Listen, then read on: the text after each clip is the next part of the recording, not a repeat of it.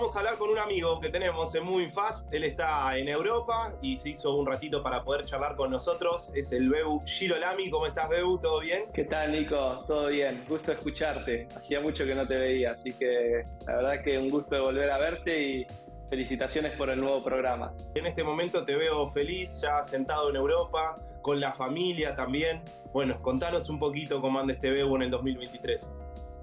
Sí, la verdad que contento, ya es mi quinto año en Europa, eh, ya un poco consolidado, trabajando por quinto año también consecutivo con Honda, pasando por distintos campeonatos, distintos autos, ahora estoy también desarrollando y, probando el GT3, así que estoy muy contento, la verdad que un, lindo programa, poder hacer lo que me gusta, eh, disfrutando de pistas increíbles, de distintas culturas, viviendo con mi familia, Ahora tengo una hija de tres años, así que la vida también familiarmente cambió, cambió muchísimo y, todo para bien, así que realmente muy contento. El primer año no me sentía tan cómodo como el segundo y el tercero mucho más. El tercero y el cuarto pude pelear los campeonatos. El año pasado siendo mi mayor logro el subcampeonato, muy cerquita ahí de, de, Ascona, que, que lo luchamos hasta la última fecha y, y te diría que llegué a un punto óptimo de mi carrera deportiva donde siento ahora que no estoy en desventaja con los europeos.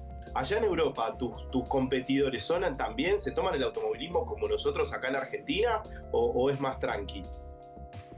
Eh, te diría, Nico, que eh, los argentinos somos una raza bastante especial, eh, no solo en el rubro del automovilismo, si ves los jugadores de fútbol, pasa lo mismo, es como, es como que venimos con un hambre de gloria muy grande porque salimos de la nada, o sea, la venimos luchando todo el tiempo y, para sobresalir en Europa necesitas ser mucho mejor que, que, un europeo, porque el equipo ante un europeo y un sudamericano se queda con el europeo.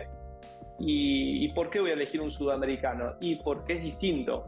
Y, y, eso nosotros tenemos un ingenio como argentinos que nos hace ser distintos, porque tenemos que utilizar ese ingenio para sobrevivir en el día a día, básicamente.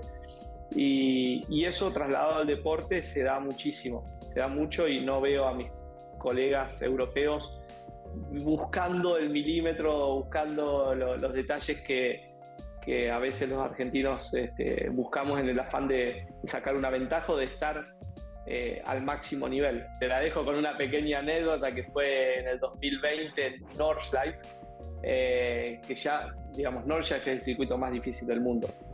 Tiene 180 curvas, es, es algo increíble y correr ahí es ya muy difícil.